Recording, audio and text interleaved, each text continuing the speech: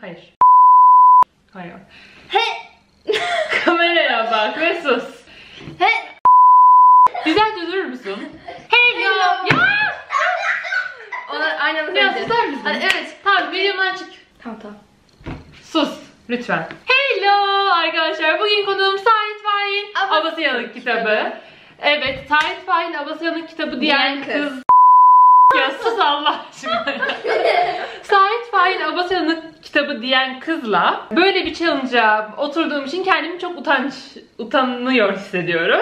Biz artık videoya geçebilir Hayır, miyiz? yani- beni, yani- beni eziyorsun şu an şurada ben bir Yani yani sen şu anda- Ben şu an konuk değil miyim? Konuklara iyi davranırım. Yani sen şu anda Sait Fahin Abasıyanık kitabı diyen kızsın kısacası. Bunu asla unutmaman lazım hayatım boyunca. Ablaya bak ya. Ceylin birlikte ezber challenge yapıyoruz. Şimdi siz benim videolarımı hep ondan çalıntı, bundan çalıntı, kopya diyorsunuz. Ama çalıntı olsa ben zaten kimden esinlenerek böyle videolar çektiğimi söylemezdim. Eğlence videolarında da söylüyorum, bu videoda da söyleyeceğim. Bu videoyu Enis Arıkan'ın kanalından gördük ve dedik ki biz de çekelim. Çünkü çok mantıklı bir sebebimiz var. Arkadaşlar biliyorsunuz ki bilmeyenleriniz de vardır ama bilenleriniz çoğunluktadır. Ben oyunculuk okuluna gidiyorum. Aa ben bilmiyordum. Ya cidden de artık video çekmek istemiyorum ya. Gülmeyin ya. Al çocuk eğlendiriyorum mesela. Arkadaşlar oyunculuk okuluna gidiyorum ve hala bitmedi. O yüzden son dersim için iki tane ezberlemem gereken metin var. Ve ben e, her ezbere oturduğumda şöyle bir tepkiyle karşılaşıyorum. Aa, Nasıl bir oyunculuk bu? Aa, okuyorsun gerçekten? Böyle mi oynuyorsun? Bu ne? Çok kötü bir oyuncusun. Flash TV oyunculuğu falan diyor. Kardeşim Ceylin Damla Özbek. Sait Fahin Abasar'ın kitabı yani kız. Ee, o yüzden ben de çok merak ediyordum Ceylin'in oyunculuğunun nasıl olduğunu. Çünkü günde 36 saat dizi izlediği için kendisi. Ve ayrıca hep taklit yapıyorum. Ben gülmedim kendi gibi gördüğünüz gibi. Evet çok cringe taklitleri vardır. Görseniz deli deyip arkanıza bakmadan koşarak uzaklaşabilirsiniz yani. Bu yüzden çok merak ettim. Ceylin Hanım'ın oyunculuğu nasıl? Dediğim gibi günde 36 saat dizi izliyor. Ee, yani Netflix'teki tüm dizileri bitirmiş durumda. Oradan öğrendiği çok şey olduğunu düşünüyorum. Bu yüzden Ceylin'le bugün güzel bir ezber challenge yapacağız. Normalde ben böyle popüler dizilerin hatta yabancı dizilerin falan senaryosunu bulmak istemiştim ama hiçbir yerde bulamadım. Çok kısıtlı bir araştırma zamanım oldu bu yüzden. Eğer bu seriyi beğenirseniz bu seriyi devam ettirmemizi isterseniz emin olun daha güzel senaryolar bulacağım. İki tane metnim var. Biri Nazım Hikmet'ten Yolcu, diğeri de Özen Yalan Ay Tedirginliği. Bu ikisini ben 11 Kasım'da yani az kaldı çok korkuyorum. İkisini oynayacağım arkadaşlar. Bir dersimiz var. O derste partnerlerimle birlikte oynayacağım evet.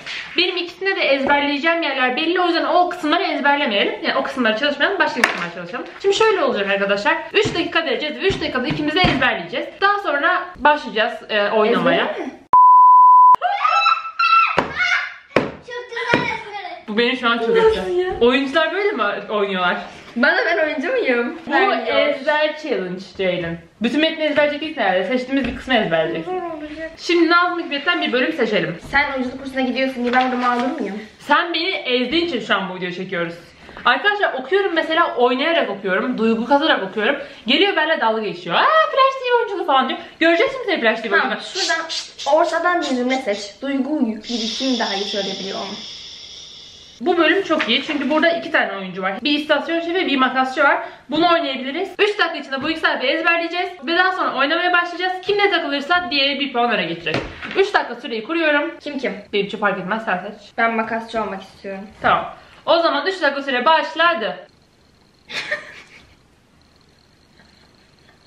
Neden gülüyorsun? 3 süremiz atılıyor.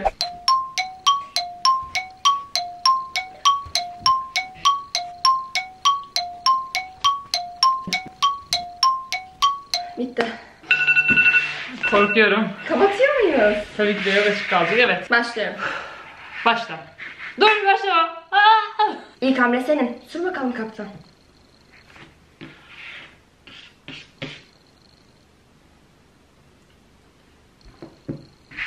Birinde öleceğini düşündün mü? Düşündüm. Aç başı bakalım. Hayır. Aldım. Ne zaman, nerede öleceğini düşünüyorsun? Bunu düşünmedim doğrusu. Şu taşı da al bakalım.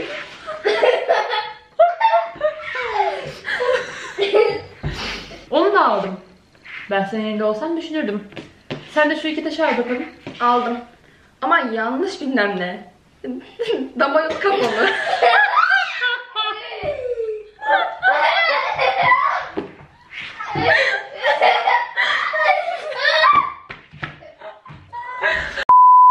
Ay doğru söyledin de. Dama yolu kapalı derken ki o anlamsız süreferden neydi? Dama yok kapalı. Emin olamadım ki. Dama yolu kapalı mı diyordu? Ama ondan öncekini bilemedin. Ne, neydi? Aldım. Ama yanlış oldu. Aldım ama hesabın çok Ha, yanlış. işte. Dama yolu kapalı. Tamam devam ediyoruz. Ben Hayır. ezber, ezberledim yani. Ben de ezberledim. Ama sen de Hadi başla o zaman. başlamayın. Bu ilk, ilk tur bitti. İlk turda 1 0 ben öndeyim. Sen çünkü durdun. Hesabın çok yanlış ama hesabın çok yanlış diyemedin. E sen başta durmuştun. Yaptın. ne yaptım ne yaptım? tamam şimdi başka yere gidiyoruz. Gayet güzel. Hadi şey, e, challenge'a dahil değil bir daha oynayalım. Tamam. Senin. Sür bakalım kaptan. Günün birinde öleceğini düşündün mü? Şimdi? İlk hamle senin. Sür bakalım kaptan. Günün birinde öleceğini düşündün mü? Düşündüm. Şu taşı da. Gülmeyin. Gülme.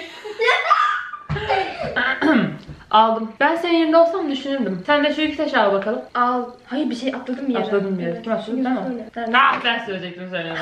Aa bu challenge'a dahil değildi. Şimdi ikinci turda özenli olan ay tedirginliği. Burada iki oyuncu var zaten. Adam ve kadın. Sen istediğin olabilirsin. Bakarsın hangisi daha hasta. Şöyle herhangi bir kısım açıyorum. Evet adam mısın kadın mısın? Kadınım. Tamam ben de adamım o zaman. Hemen süreyi başlatalım. 3 dakika süremiz başladı. Ezber başlasın.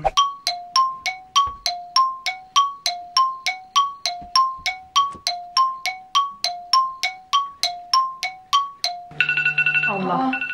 Allah.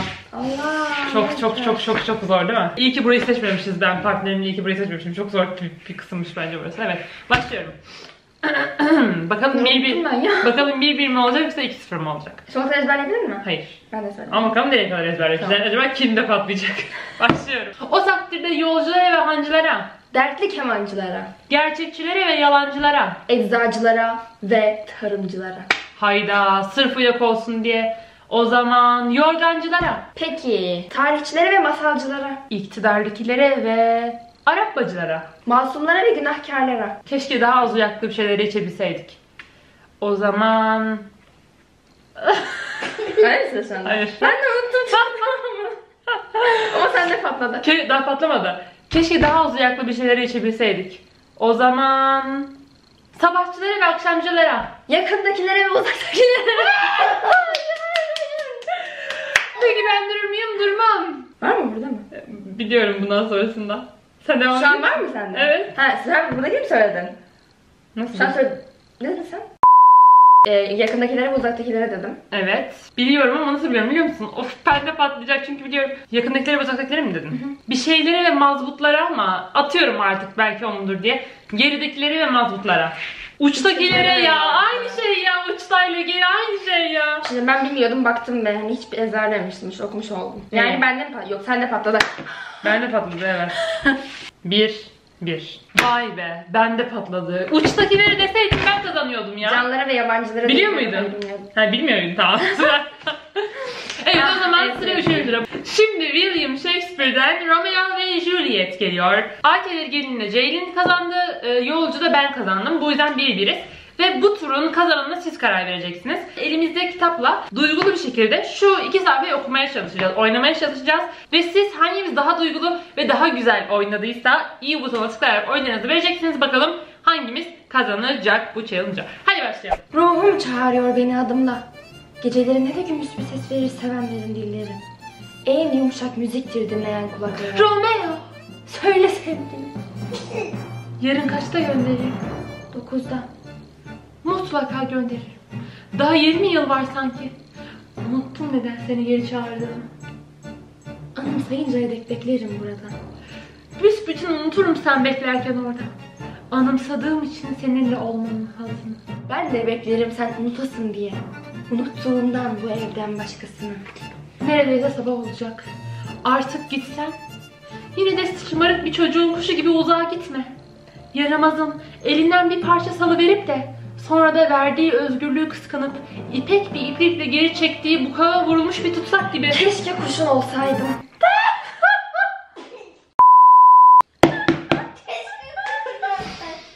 Ne olur tatlım. Ama çok seveyim derken öldürürdüm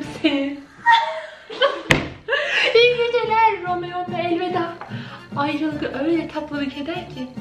Sabaha dek iyi geceler sana. Uyku barısın gözlerinde. Barışta gönlünde. Uykuda ben olsam barışta. Ne tatlı bir dinlenme olur. Şu bizim kutsal pederin varayım hücresine. Anlatıp bu mutlu olayı.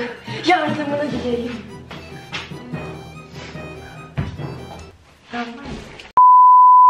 Yok bitmiş sıra sahne burada. Bence çok Tabii ki de en iyi ben oynadığımı düşünüyorum. Pekin Pekin. Hayır, tabii ki sen oynayamadın. En iyi ben oynadım.